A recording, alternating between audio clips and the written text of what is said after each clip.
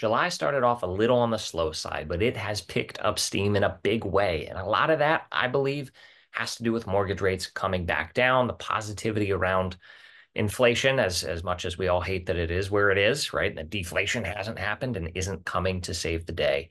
It's improving.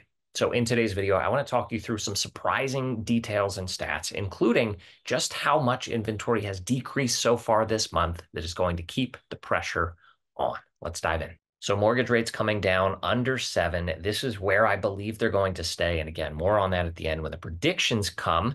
But that has helped. That has taken a little bit of the sting out of the price of things, uh, at least from a monthly payment standpoint, as prices have stayed very, very strong, increasing again 7% year over year for condos and 5%, which is on the rise for single family homes.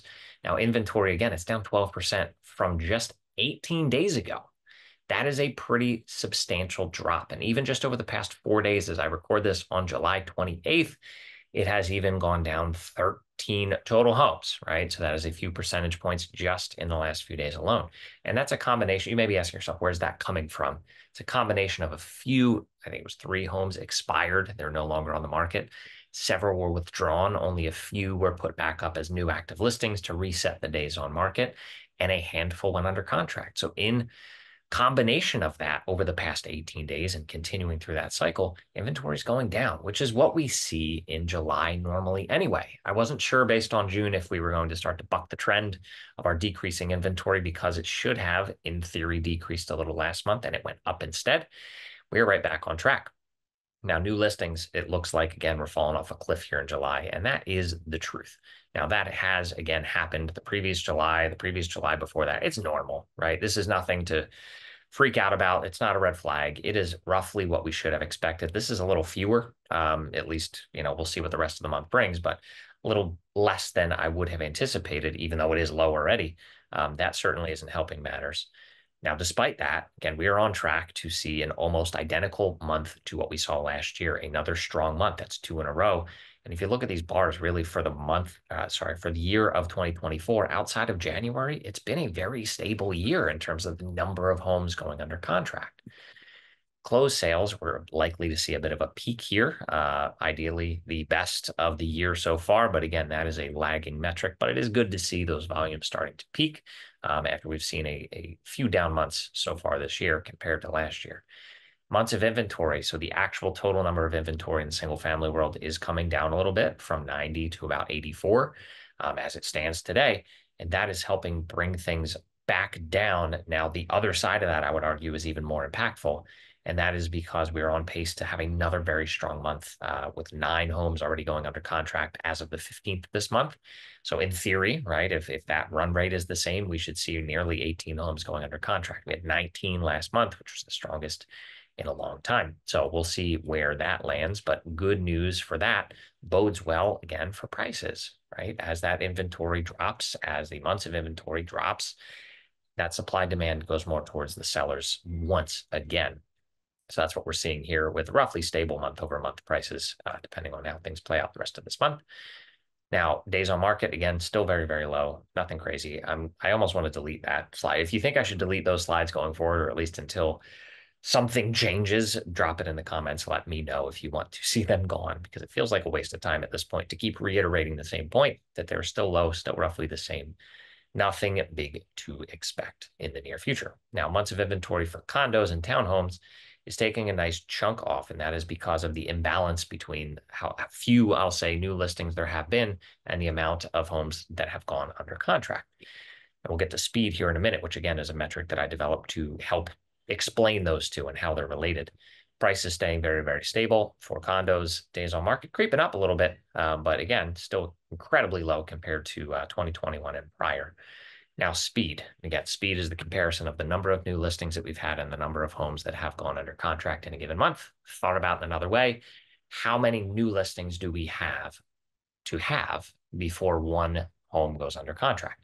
And generally speaking, we're around one and three quarters. Um, this is an incredibly low month, the lowest, or at least we're on pace to see the lowest um, speed since early 2021. So this has been an incredibly strong month. Again, that's a combination here of two things.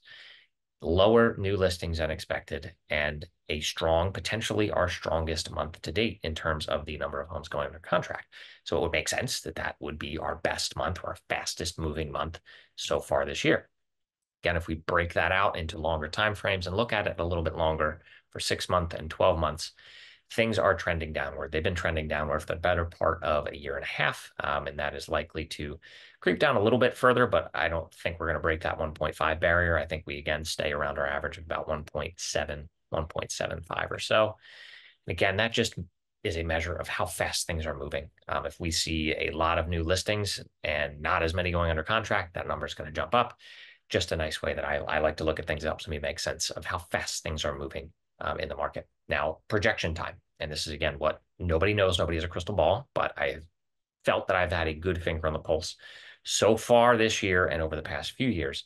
Mortgage rates coming down, and I anticipate with the Fed likely to cut rates again in September, they are likely to come down even more. Um, not going to reach the fives. I don't even think we're going to get under, I'll say, 6.5. Um, but we should stay under seven for the rest of the year, barring any huge surprises. And you may be thinking, well, the election's coming up. Is that going to have an impact? There should be no direct impact on that. Um, you know, regardless of who wins, that's not really on my radar.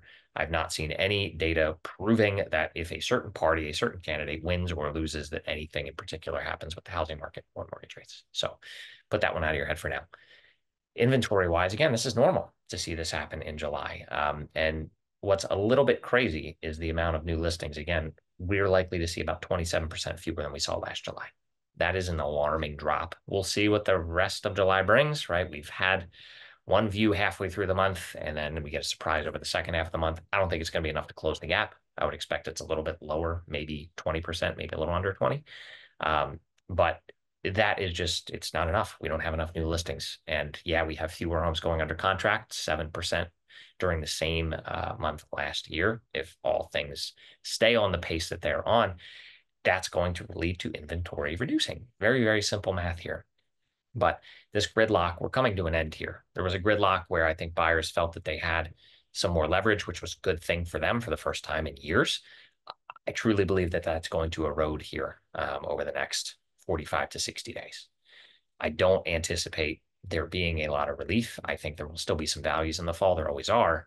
But the positivity when it comes to inflation and ongoing likely rate cuts, um, or even again, just the assumption that it may happen, is putting more confidence into the market that is going to help people make the move that they may have been hesitant to make, um, even if it's just a quarter point difference. That ends up being a big deal for some people. So, price wise, again, another strong month for single family homes. Those are likely flat going forward in terms of pricing. Condos are also looking flat. So we are in a very balanced, nice point here. And I don't see a reason why that should really change.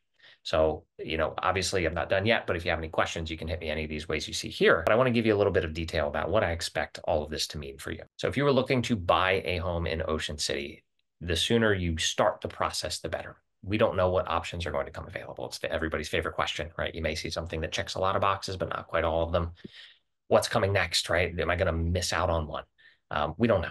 We don't know. We can't possibly ever know. We can look back over the past year or so and say, what are the odds, right? Have we seen anything better that has been a better fit, been a better price, whatever it is?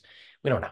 But the sooner you start the process, the better feel you get for the market coming up. And why I also advise that is we're going to have some pretty big changes coming starting in August. There's going to be more videos coming out soon um, about those. So if you haven't already, make sure you subscribe down below and turn on notifications because I'm going to talk you through. There are big changes coming with the way that real estate agents and buyers and sellers operate about what paperwork is needed, about who pays their agent's commission.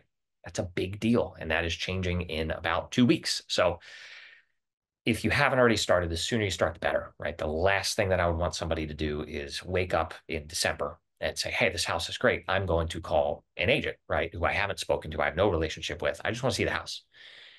And then all of a sudden you find out, wait a second, I have to sign this document that's going to tell you, and we have to agree what I'm going to compensate you, the agent, before I can even see the house if you're not mentally ready for that, if you don't understand why that's the case and that that's going to be the case with every agent across the board going forward, um, you don't need that stressor, right? It's an emotional process as it is. It's a big deal. You want to get educated. You want to prepare yourself for what's coming um, so that when the right opportunity comes, you are truly ready. You are fully aware of what your capabilities are, what your responsibilities are going to be as a buyer, um, and how you can potentially, I'm not going to use the word avoid, how you can subsidize some of the cost of your representation, which is still important to have versus working directly through the agent who has fiduciary responsibilities to the seller. Um, and you then don't have your own independent representation. But again, save that for next week. Um, start sooner than later. Sellers, that's going to also impact you. But as far as inventory competition, all of that, you're in a very, very good spot right now. In the fall, we're going to see inventory start to pick up if all bodes like it has in years past, and it'll get some more competition. Um, as we're coming out of the summer here, the heavy hitters, right, who are renting for big bucks are down here July and beginning of August. This would be the time to get yourself out there um, before the other competition does, and while the people who are most likely to be able to buy your home may be in town. So, with that said, I appreciate you hanging out with me. Again, if you have any questions, you can either drop them in the comments below or reach out any of the ways you see in the description. So, thank you. I'll see you next time.